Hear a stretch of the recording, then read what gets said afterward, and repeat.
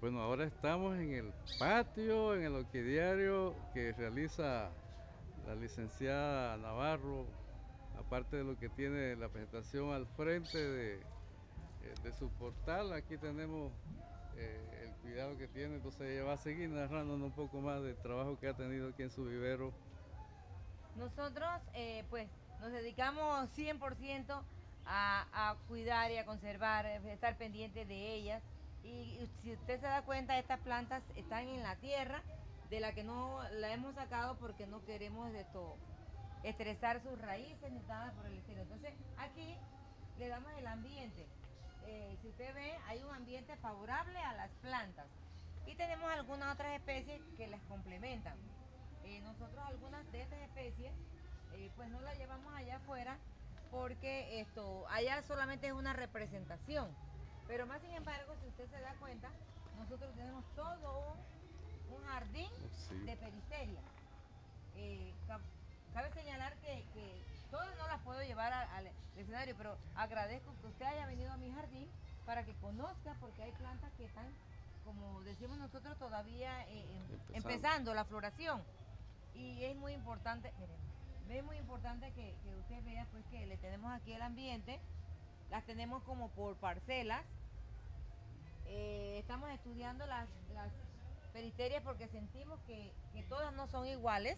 Eh, hay unas que, crecen altas y la flor está un poco cerrada. Hay otras que crecen bajito y la flor está más abierta. Hay otras que crecen altas con la flor abierta y otras que crecen altas con la flor un poco cerrada. Conocemos que para, conocemos que para, eh, para juzgamiento la flor debe estar un poco más abierta.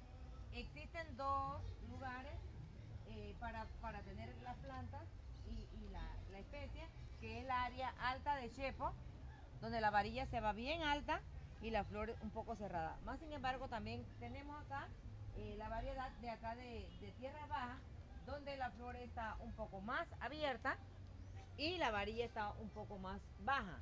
Entonces, pues ya eh, aquí nosotros, pues la tenemos y hemos estado como como ya pendiente, ya vamos conociendo, empíricamente vamos conociendo el, cómo cultivar la, flor del Espíritu Santo. Tenemos algunas variedades de, orquídea, de peristeria, que hasta tienen hasta dos y tres varillas.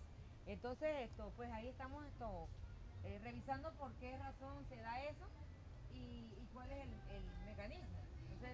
Pues unas que están bajitas con dos, tres varillas y tenemos unas que no dieron varilla y que tienen un follaje muy hermoso. que hay unas que tienen unas cápsulas que ya pasaron. Entonces, eh, aquí están las del año pasado y si usted logra ver esa cápsula, ya abrió y debe estar la semilla en el suelo. Entonces, después de la floración y la polinización, viene lo que es la semilla y que hay que esperar un, un tiempo prudente para que ella caiga. A mí sí me interesa de que nos enseñen es cómo reproducirla por semilla.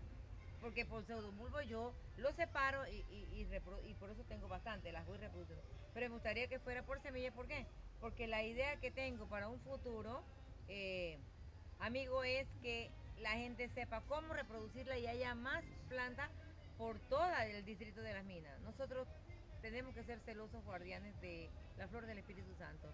Eh, cuando le digo a las personas, no las deje que se la lleven, no es porque esté peleándolas, sino porque yo quiero que la gente, antes de, entregar una planta, conozca toda la importancia de esta flor para todos los mineños y para el mundo entero. Evidelia, te felicito. Eh, no conocía esta parte tuya acá, digo, que hay que dar mirar por tu trabajo. hay que mejorar un poquito algunos detallitos ahí eh, de fitosanidad y lo demás, y eso lo veremos más adelante con algún eh, especialista. Bueno, usted sabe que, nosotros no tenemos eh, recursos ni asistencia de nadie. Nosotros lo que hemos podido hacer aquí es como dice la flor. Todo lo que hay aquí es por obra y gracia del Espíritu y Santo. empíricamente, te felicito, Videlia. Esperamos que esta parte también le guste a los que están viendo.